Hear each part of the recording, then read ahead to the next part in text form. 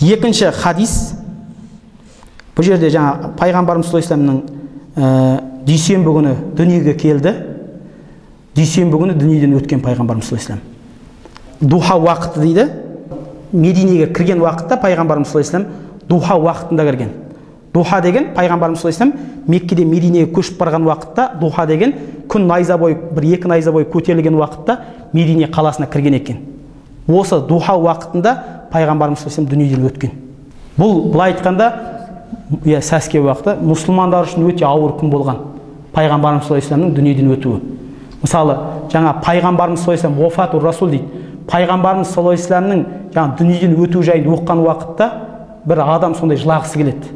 Сахабалар сондай жылап неткен.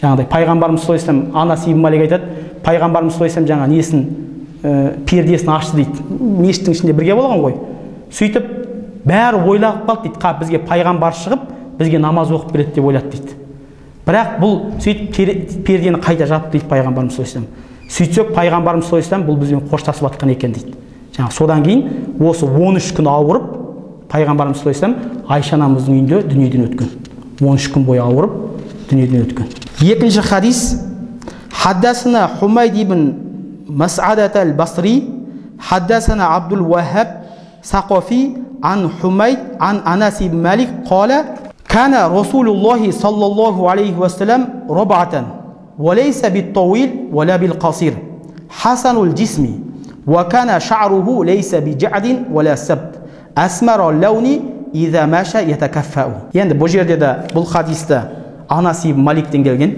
жаңа айттық бұл жайында айтып өттік пайғамбарымыз саллаллаху қызметшісі болған бәрін айтып өттік дәл алдыңғы хадис сияқты қазір айтамыз пайғамбарымыз саллаллаху алейhi орташа бойлы еді дейді. Ұзын да емес еді қысқа да емес еді дейді. Хасанул жисм бір денесі дене бітімі өте көркем адам еді дейді.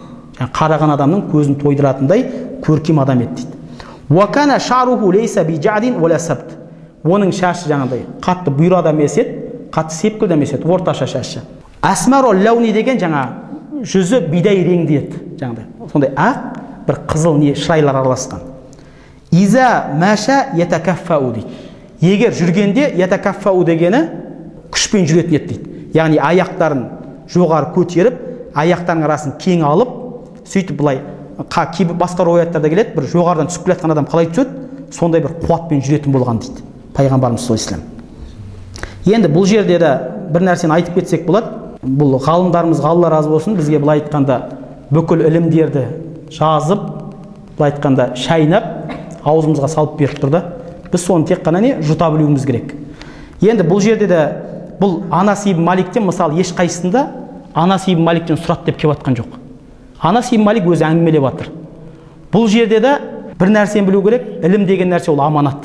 Бұл сол нәрсені дәлелдеп тұр да ілім ол аманат. Яғни анас ибн малик та менің осы ә, бойымда сол нәрсе кетіп өзіммен бірге алып кетпейін деп жаңа адамдарға бұны айтып беріп жатыр. Себебі білесіздер ә әрбір нәрсенің зекеті бар деген әрбір нәрсенің зекет беріледі деген ілімнің зекеті алған іліміңді беру деген халыққа.